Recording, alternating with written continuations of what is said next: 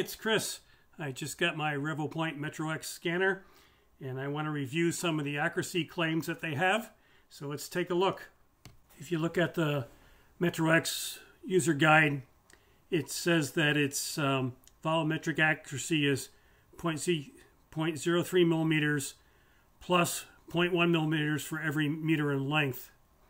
I did a uh, YouTube video about three years ago when the POP first came out looking at the stitching error and uh, it turned out that over a one and a half meters there was over a 15 millimeter deviation from what it was supposed to be. So I'm going to repeat the test with the with the Metro X. I've got my plate glass with reflective targets on it. And I'm going to first do a global marking with the Metro X. Then I'll do different scans. I'm going to create a new global marker scan here. And hit start. And then I'm going to slowly move the tripod down the glass plate. And it's going to collect all the uh, markers so that we know where they are.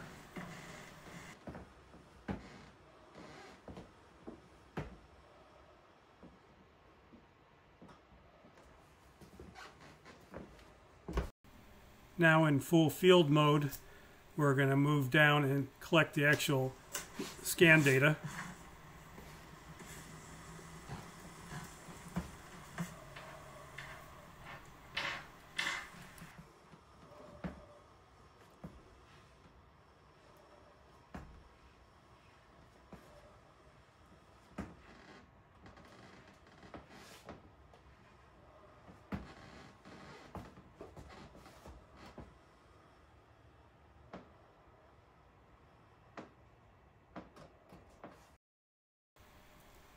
Next, we're going to fuse the data together. And then we're going to mesh it.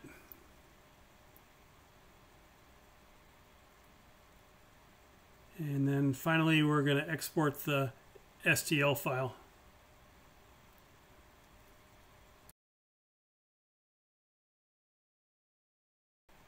We're going to load the mesh into Polyworks.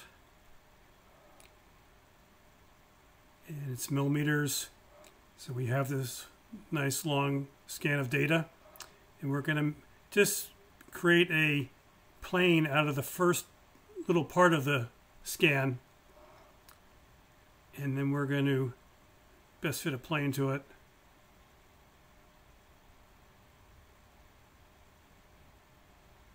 Now we're going to expand the plane so that it actually encompasses the whole scan.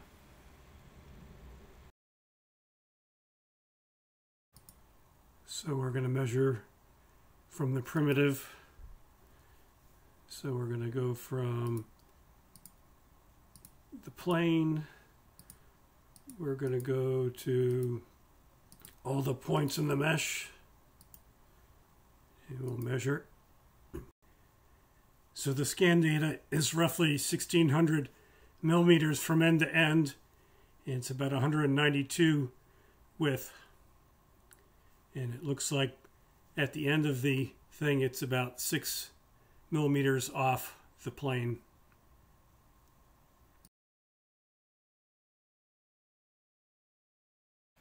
Well, the 6 millimeter error at 1.6 meters is much better than the 15 millimeters that the pop had but it's still nowhere close to what the uh, spec said for accuracy.